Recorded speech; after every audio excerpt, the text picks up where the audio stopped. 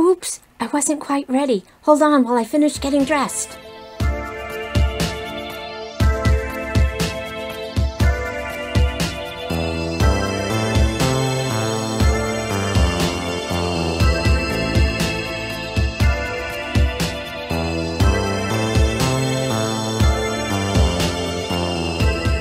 Hi everyone, I'm Nancy. Welcome to my home, welcome to my channel, and welcome to another, hey, who's going to come over to Nancy's and slap that smile off her face?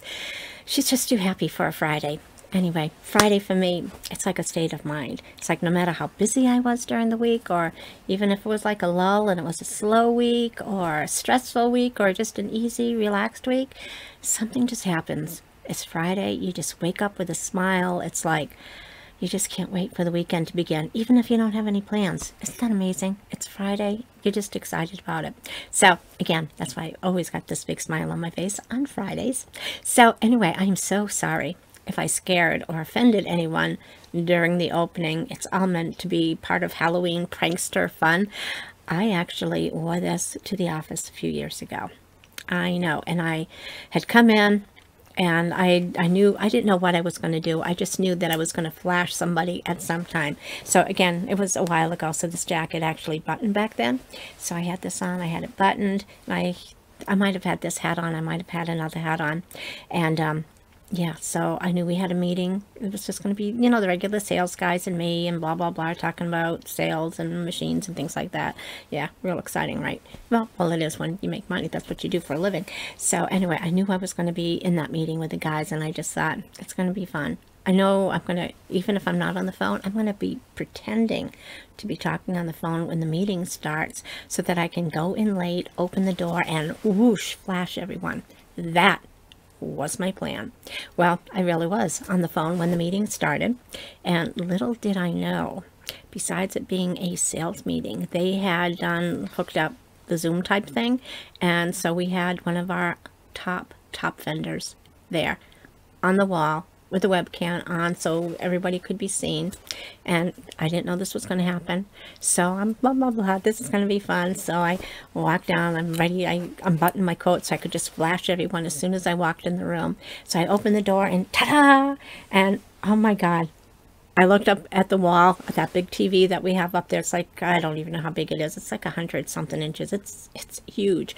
So, and, and I saw the guys on the other end and my face must have turned beat beat red. I mean, everyone had a good laugh. They know it's me. It's just going to be like a little prankster fun. It was really fun, but yeah, I think my fed, my face was red for days. But anyway, that's an old story, isn't it? I don't know if I told you guys that last year. So anyway, the hat that I'm wearing this year is one of Rick Stetson hats. And we got he got Stetson hats when he decided he was going to be hypnotized to stop smoking one of the many, many times that he decided he wanted to quit smoking. So he was hypnotized. He came out of the hypnotist um, thing, thingamajig, the appointment, and went straight out to buy a gun. Yeah, true story. He was going to, all of a sudden, hadn't ever talked about it before, he was going to be a hunter. So he wanted, we were looking at different puppies, and when we went up to Maine to get our first Brittany, from a Pride and Joy Kennels up in Maine. We were like, what are we going to name him? What are we going to name him? And he had just got a Stetson hat, his first Stetson hat, to um, to wear. I have no idea why that was part of the, the hypnotist. He got a gun and a Stetson hat. So, yeah, so I said, well, let's name him Stetson. And so Sir Stetson kind of stuck. And so through the years, he bought a few different Stetson hats just for fun. Alrighty, so getting into the rest of the outfit so you can kind of see it again. I just put on this old trench coat. I probably got this at Target maybe 20, 20 years ago, I'm going to say. It was after we moved to St. Michael, so yeah, so it's going to be at least 20 years old. I've got on these Temu uh, earrings right here in silver. The jacket used to, um, you know, used to button. Don't judge. But yeah, it's old well, like me. So anyway, I put the trench coat on because it just kind of, otherwise you just kind of see the white t-shirt at the end and she's wearing a trench coat. So again, this lady that's scantily clad in her trench coat. She's got her black thigh-high nylons on, or stockings with the lace. And yeah, so it's just kind of a fun little thing if you're not expecting it to flash people. I know, so much fun. Alrighty, so continuing with our Halloween intro, I already went to the Ferrero, my 31 day countdown to Halloween, uh, put out by Ferrero, and the proceeds were for the Children's Miracle Network Hospitals. And how does it always know when I'm going to have dinner with something garlicky and oniony? Maybe it's just a given. But anyway, I got another Tic Tac of orange so anyway, they are kind of tasty. Not really sure if they really help uh, the garlic, but you know what? It's all in fun.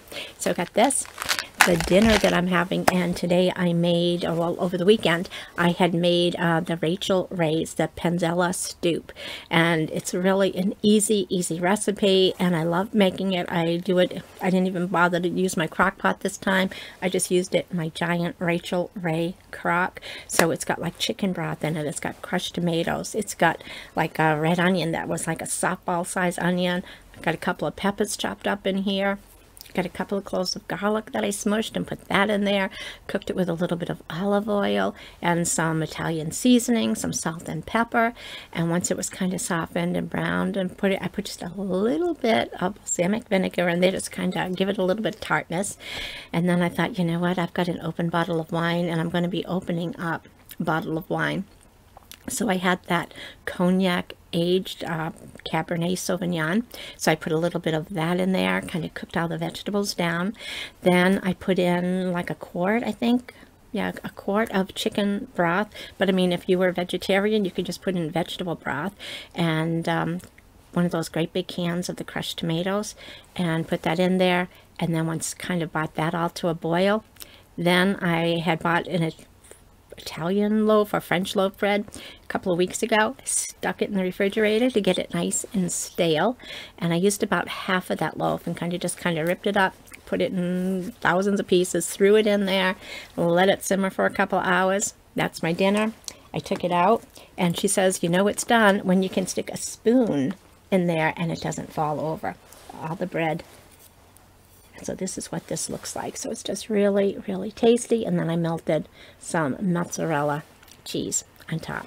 And then I've got so much left over. What I'm going to do with it is like what I usually do every year is that I take some out.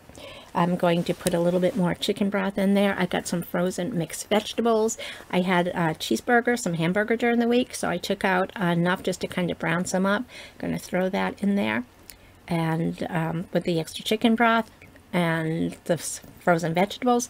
To make a nice minestrone soup with that. And then some more, I will just kind of add some sausage and some more hamburger and make a quick kind of spaghetti sauce. So this is to get a couple of uses. So I enjoy making like a big bowl of the Panzella Stoup because I can use it, gets a lot of different meals out of it.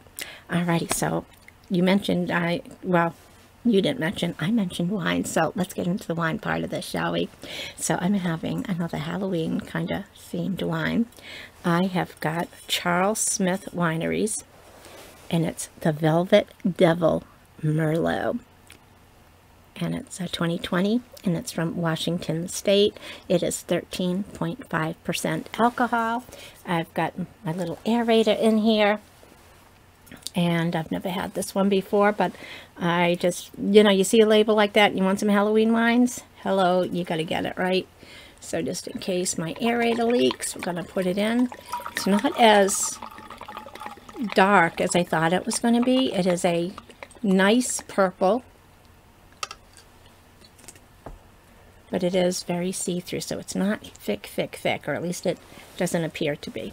Just going to try to swirl this around in my glass a little bit Gonna see if I can sniff anything. Hmm. smells. Hmm, it smells fruity. I smell a cherry. Maybe plum, maybe some blackberry. Um, I think cedar wood, so it's probably aged in cedar. And I got the sensation that I just kind of walked into that old types tobacco stores that Rick used to love to go in. Yeah. Cheers, everyone. Just going to have a quick sip. I hope everyone had a fabulous, fabulous week. I hope you have some great fall plans for the weekend and you're just just going to relax, have some fun. Maybe you have to do some yard work and get the leaves up. My neighbor already came over and kind of mulched up all my leaves again. So yeah, he's been really fabulous. And he's been back to work too. So it's not around all the week. But he still takes care of me. So that's pretty cool, huh? So anyway, cheers everyone. Hope everyone is doing fabulous. Hmm.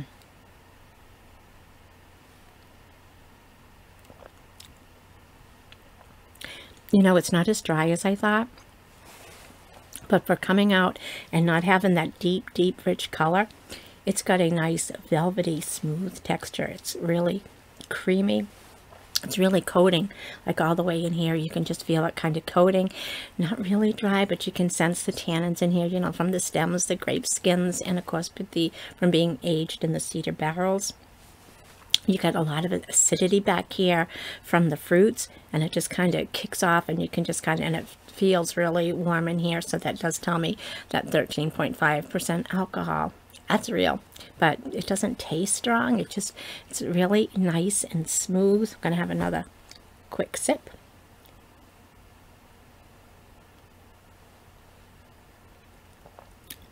yeah I'm gonna say it's a full body it's got a really nice velvety finish. I think, and it, I don't think it was, well, it wasn't that expensive because otherwise I wouldn't have bought it.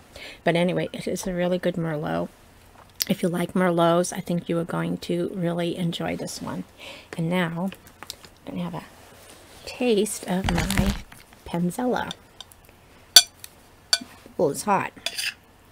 And even though there's all kinds of bread in here, that bread, like half a loaf, all kind of chopped up, I really miss being able to dip a fresh garlic bread in here. So I may have to do that.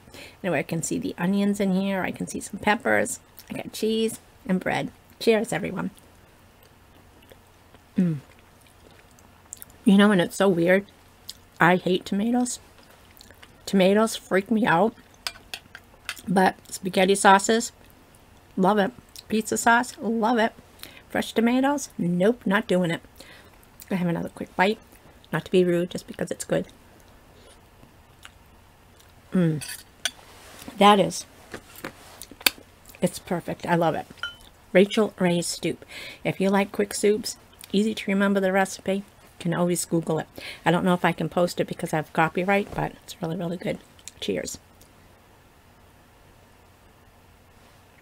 Mmm. That is really good. I might have to check out their winery, see what else they have. But anyway, I want to thank you guys so much for taking a few minutes out of your day to spend with me. You guys know it means the world to me. I appreciate you guys more than you know. So thank you from the bottom of my heart. If you're new to my channel, I hope um, you come back and not expecting me to flash you every time. Yeah, I'm not, I'm not that kind of girl. But anyway, I hope you take a second, hit that little red subscribe button. I would love to have you come back and join us for future videos. Your comments are always welcome. Looking for some more soup ideas, things like that, that you can kind of make something and then have it during the week as something else. Those things are fabulous any nice wine suggestions that you have. If you've had this Velvet Devil Merlot, let me know what you think about it.